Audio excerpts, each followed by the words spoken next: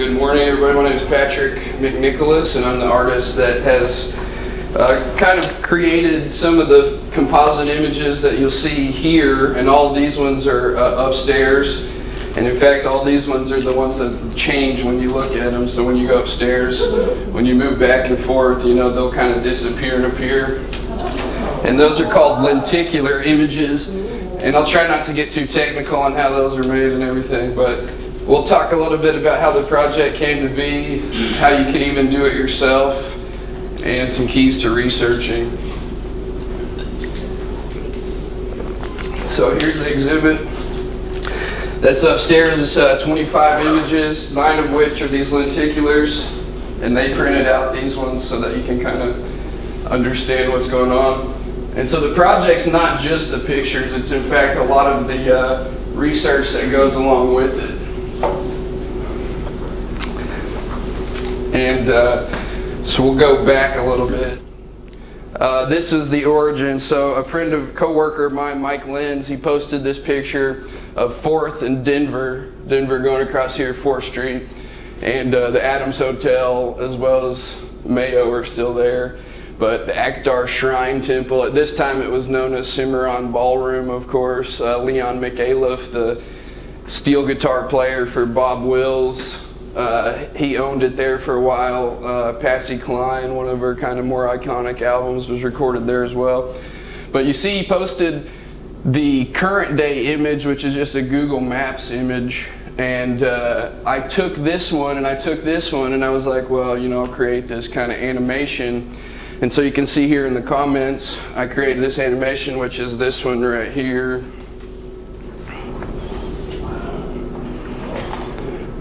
And these ones, this, again, this was the first one that I made, so it kind of moves a little quicker. Since then, I've kind of made it so you can see the transi transitions a little easier. But uh, again, the shrine here, this is a picture that is featured in the exhibit upstairs. So in 1925, this was the Akdar Mosque Shrine, and again later renamed Cimarron Ballroom. And uh, it was a theater performance hall originally, but then uh, once the Depression hit, it actually went out of business. And uh, the only thing it was used for up until that point was a uh, induction center for World War II soldiers. And so uh, once uh, the war was over, Leon McAuliffe bought it. And in e even later years, images of this building on this corner, you'll see the KRMG, so they actually broadcast out of there.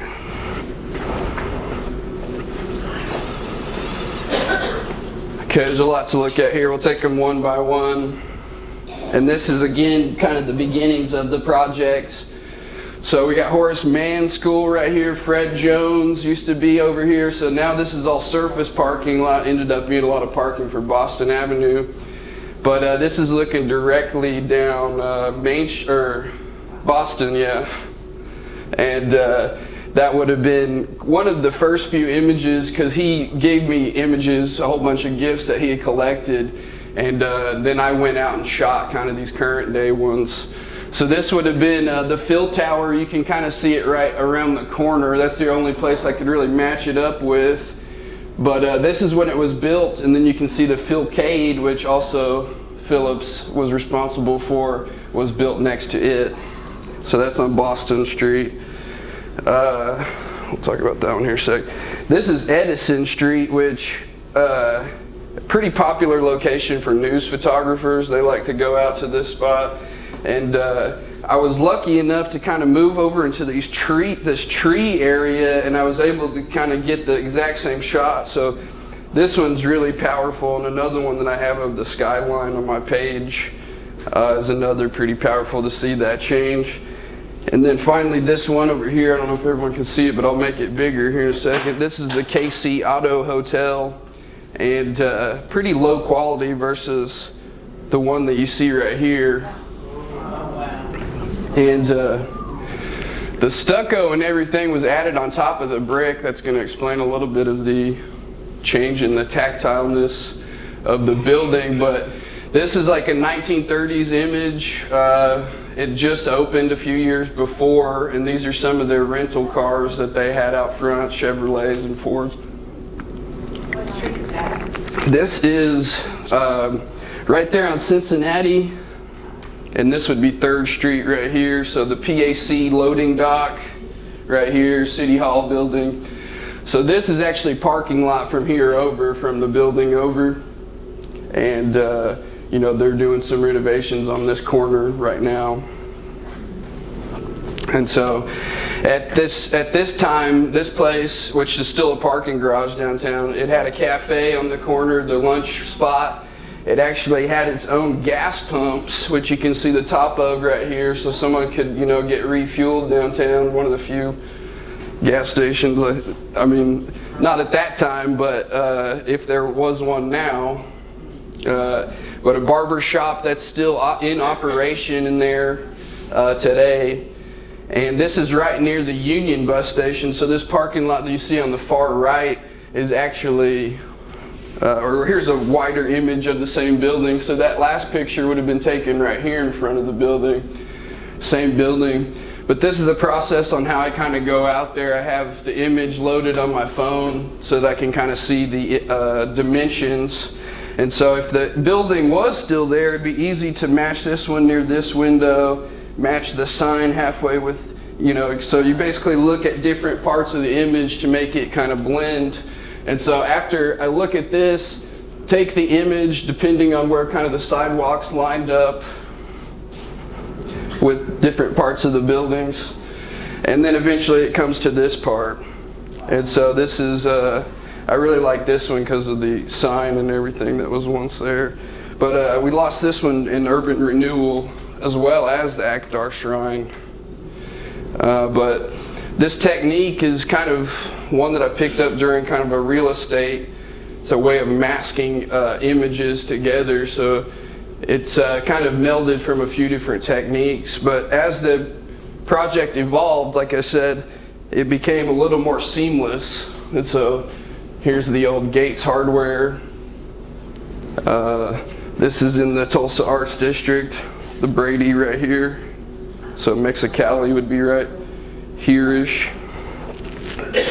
This was just a candid photo that some newspaperman took of them installing uh, an air conditioning across the street at the Oklahoma Natural Gas Building.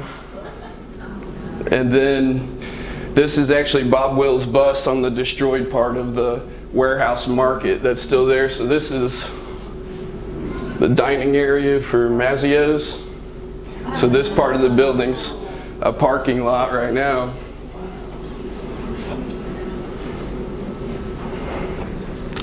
But uh, the image, the two images on the right are the ones upstairs, can be found upstairs. So we'll talk a little bit about resources, where I get some of my images from. And I'd say some of the most powerful images and some of the kind of the more rare ones come from just talking to individuals, and that's kind of how this project started originally. And I've gotten into a lot of contact with people because of that as well. The Historical Society has over 200 or 20,000 photos online that are archived.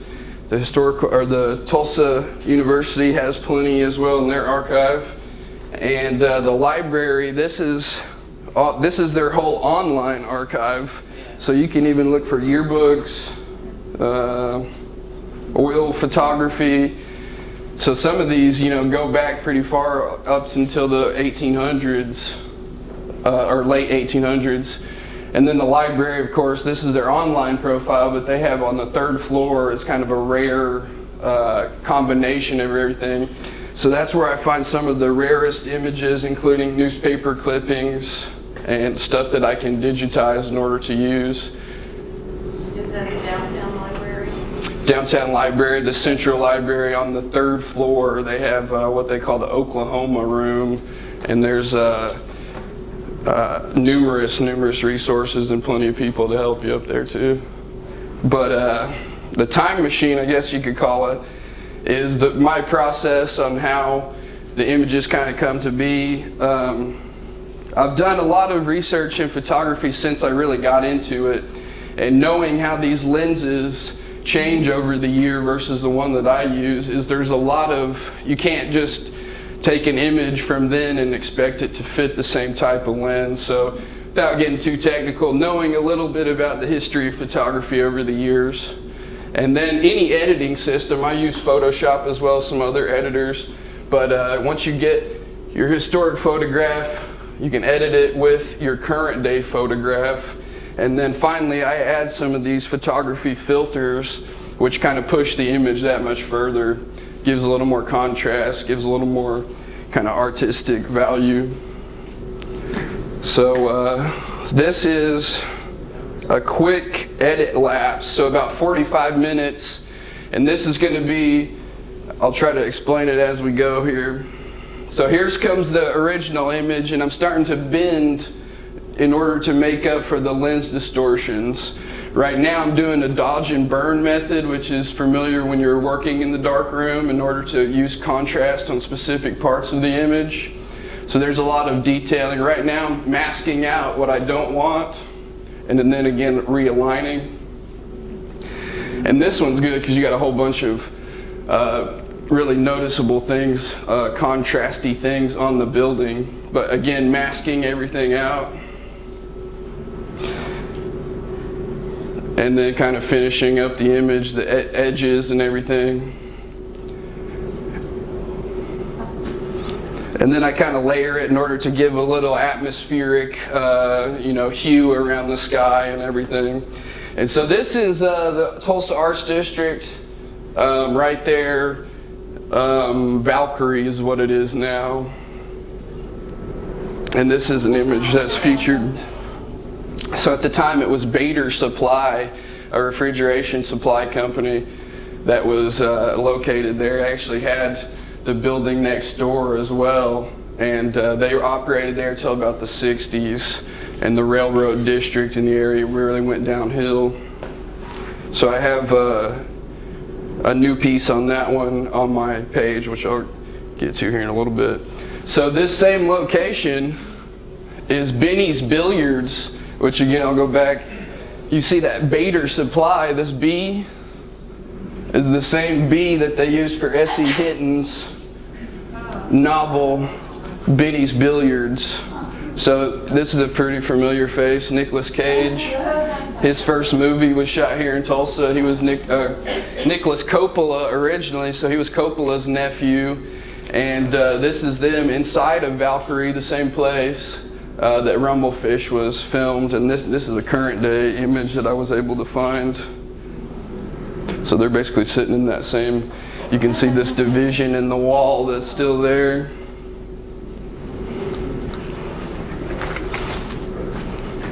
And so uh, we talk about this. I do the outsiders tours um, mainly because of the photography that I've gotten into. It led to this project, which is uh, images from the outsiders. So this is when they get pulled over downtown in the same district, of course. But this is uh, uh The high quality again might mess with it, but uh, you can see the kind of disappearing. But this was in 82 when they shot both Outsiders and Rumblefish. The next up are these lenticulars. So it, me and a buddy kind of got together and we were like, how can we get these images? We can't have a screen for every single one. So if we're going to display them, how can we display them so that they actually disappear, but without you know getting too much involved as far as pricing. And so here's some of the first uh, outsiders lenticulars that show the different shooting locations. And these are kind of like bookmarks which are available. This is Crutchfield Park near the house. Rob Lowe there, Patrick Swayze. And then again that same one. So, uh, try not to get too technical. this took a really long time. So I started, I started this process last July, and I probably didn't understand it until late last fall. And uh, it basically comes down to a lot of math, but what you're seeing here is the most basic example. I have two images, one being the past, one being the present, and you, you basically interlace this image and then you apply it to one of these lenses. And so once that lens is on there, if you're looking at it from right here, you're seeing the left side of that image underneath it. If you're over here, you're seeing the right side. So this lens splits the image in half, allowing you to see one side or the other. So that's the most basic representation. And so I was like, well, just I'll print it out and see what happens, you know. And I so I went to a local place, and it didn't turn out the way that I expected, and I didn't know why. And they said, you know, you got to do these pitch tests. So I had to figure out actually where the lens and my printer lie. So the one that disappears, 39.7, you're going to use these different dimensions in order to find how your pixels are going to separate. And so here's basically a shortened version of the process. So it prints out in an interlaced form. So once you get it out of the printer, you come and you can kind of see this translucent image. It doesn't move yet, but then when you apply this lens to it, that's where it starts to kind of disappear. And again, this doesn't work for every image. Some images work more, mainly due to contrast and other issues like that. So it's a lot of experimenting. And then here's another kind of look. This is uh, Greenwood and King, kind of a project that I've been working on. Uh, urban renewal and Greenwood district. And so you can see this is one of the ones that's upstairs, in fact. This is uh, Greenwood near Langston, and you can see how uh, populated it really was, really densely populated, and uh, now, you know, very far from it. And so this unreleased image here is right up the street from that last one. So the last one I took would have been at this intersection on King. I think Latimer's the next one up. And so this is outside of an old Sun-Dry, Larry's Sun-Dry store. And uh, the Tulsa Historical Society has a lot of these photos, which would have been, you know, police officers on scene of different accidents and even fatalities. Uh, but those are available online. So if you're looking for a specific intersection, most of the time I find stuff that's uh, I can't find anywhere else just because no one took a picture of it, but they took a picture of it because they had to. And so this is another image that's featured. This is Greenwood right behind Fat Guy's Burger Bar. So this would be the highway that cut across into here. The church is still standing, of course. And then you can see uh, the Sand Springs Railway. It's going to be looping right around here. And the Sand Springs Railway went till 1955. So they were running passenger service up until 1955, which is pretty, pretty wild to think about since they started in uh, 1906. And then this is looking the exact opposite direction. So that's the baseball park when the rail used to go right through it. It wasn't the only rail. There's two that crisscrossed right there. And then this was the most recent one uh, in Tulsa People and uh, is featured upstairs. And just recently, I was looking up some interurban information, and this this was the waiting room. So I actually have a really cool photo of that a little bit further down. But this was Train 72, and again, they ran this uh, up until 55, and the Tribune building would have still been uh, around at that point. But now apartments, of course, or the Tribune would have been around. So. And so like I was talking, the future of this project uh, lots of urban renewal and focus specifically on the northern side of uh, Greenwood as well as uh, northern side of Cain's and the whole north side really where the highway came through. So this was one of the other theaters in the Greenwood district that was destroyed by the making for the highway there. And again, all this all this is gone, but they moved the May Mabel Little House down here now where the Greenwood Cultural Center is. You know what theater that is? I want to say the Rex, but I'm not completely sure. I haven't, this is actually unreleased, so I haven't gotten to the deep research aspects of it yet. Um, but another thing that I actually started before a lot of these composites was this project called uh, um, 20 for 21, basically 20 images from the race riot that are colorized and uh, gonna ha hopefully have an exhibit at some point with some of these images. This is uh, uh, B.C. Franklin, Burt Franklin's dad. He operated the uh, law office out of this tent um, right after the riots, and F.E. Thompson, his uh, secretary there, and um, I can't remember that guy's his assistant there. Uh, but like I was saying, uh, on your way out or whatever, the Tulsa People article is this month. So this is the one right, oops, the one right there is the same one right here. And so that just came out uh, today or yesterday. And uh, a lot of the times, this is actually about the fire department, the history of the fire department starting as early as when the half side of Main Street burnt down and they uh, basically had this ragtag effort. They would like shoot guns and stuff to realize that there was a fire going on to alarm people. And uh, this is uh, on North Main, or yeah, on North Main looking north. The Fox Hotel signage is still there today. Uh, this would be Prairie, which is still there. Cain's is down there. The Davenport Lofts are getting built. This building's still here as well. But a lot of this stuff is kind of sidecar with other things that I uh, make as well. So here's Fire Station 3, the oldest surviving fire station, and this is on 3rd Street, right down from uh, Hodges Bend in that area. Peoria would be the next street over. And uh, to kind of wrap up a little bit, the my pages and everything, I kind of have uh, the, originally, it started with the Tulsa Past Instagram page. Now I've recently added some Facebook stuff because I realize not everyone's on Instagram. Um, my website's there as well, and I have some pretty cool stuff on there as well as some prints. Um, the exhibit here at the Historical Society will be open till June, and so feel free to bring all your friends over the next uh, little bit. And uh, Buck Atom's here, 1969 image of the old Pimco gas station. That's, uh, if you go there, there's some, uh, have exclusive prints available to buy there as well. Um, and, uh, yeah, I had this comment thing. But if you uh, talk to me or anything, we can figure something out.